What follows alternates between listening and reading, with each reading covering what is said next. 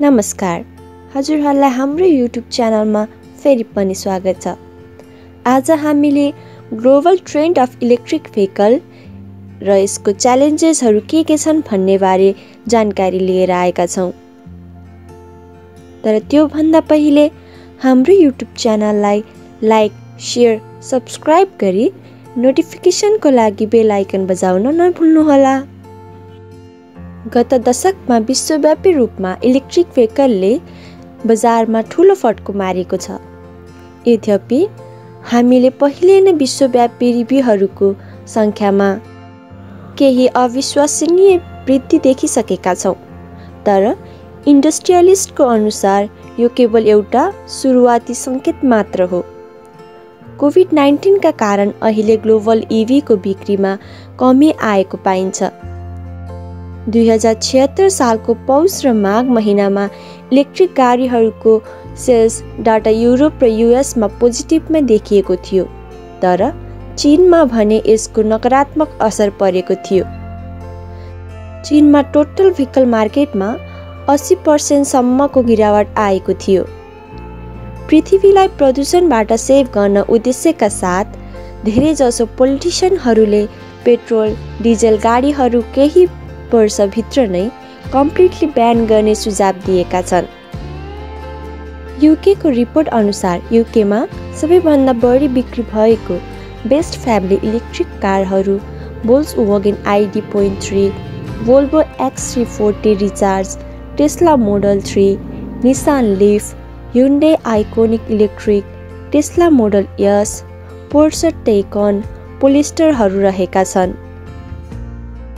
अमेरिकी बजारमा धेरै नै इलेक्ट्रिक कारहरू प्रयोगमा आएको पाइन्छ।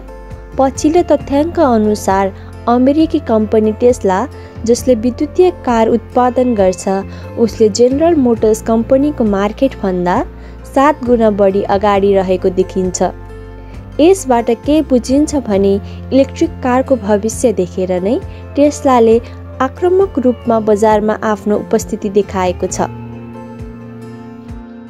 आश लाग्दा केही कुरा हुँदाहुँदै पनि इलेक्ट्रिक कारहरूले केही समस्याहरू अवश्य नै झेल्न पर्ने हुन्छ। त्यसको लागि चर्चा गरौँ इलेक्ट्रिक कारको च्यालेन्जेसहरूबारे। इलेक्ट्रिक कारको पहिलो चुनौती भनेको नै यसको महँगो मूल्य हो। अर्को समस्या भनेको यसमा हुने ब्याट्रीको हो। ब्याट्रीको आयु एउटा समस्या हुँदाहुँदै र ब्याट्रीलाई चार्ज गर्ने उपकरण तरिका र सर्वसुलभ रूपमा उपलब्ध हुने गरी निर्माण गर्नु अर्को चुनौती हुन्। कतिले त इलेक्ट्रिक भेहिकलको मूल्य उत्पादन सङ्ख्याको वृद्धिसँगै घटेर जाने आलङ्कन गरेका छन्।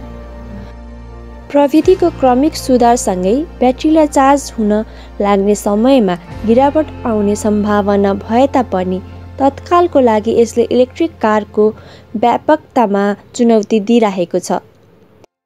यदि भने जस्तो प्रविधिमा विकास नभएको केसमा चाहिँ मूल्य वृद्धि हुने खपत कम हुने र ब्याट्री चार्ज गर्न धेरै समय लाग्ने हुन सक्छ।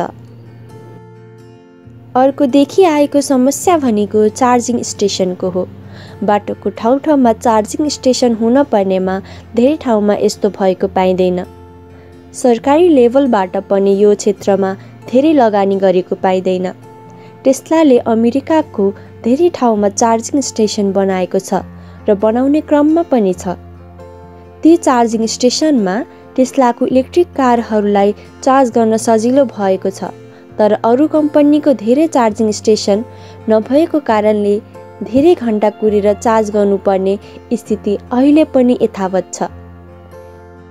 यो चार्जिङ स्टेसनमा व्यापक लगानी र विस्तार नगरेसम्म धेरै समयसम्म कुर्नुपर्ने झमेलाको अन्त्य हुने छैन।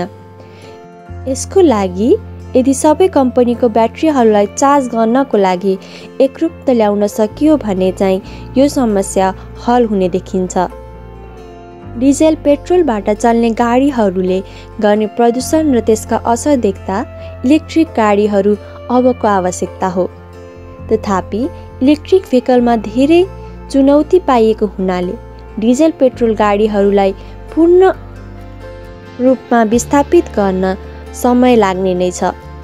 र सजिलै ती गाडीहरू त्यसमा लगानी गर्ने व्यक्ति तथा कम्पनी अनि त्यसमा डिपेन्डेन्ट जनशक्तिहरूले पनि सजिलै परिवर्तनलाई स्वीकार्ने छैनन् बरु झन अप्ठ्यारोमा पार्ने सक्नेछन्। केही ठुला कम्पनीहरूले इलेक्ट्रिक कारको क्षेत्रमा व्यापक लगानी गरेको हुनाले आशावादी हुने ठाउँ चाहिँ छ। हजुरहरूलाई हाम्रो भिडियो कस्तो लाग्यो? हामीलाई कमेन्ट बक्समा गई आफ्नो प्रतिक्रिया दिन नभुल्नुहोला र हाम्रो च्यानललाई सब्सक्राइब गरिदिनुहोला। धन्यवाद।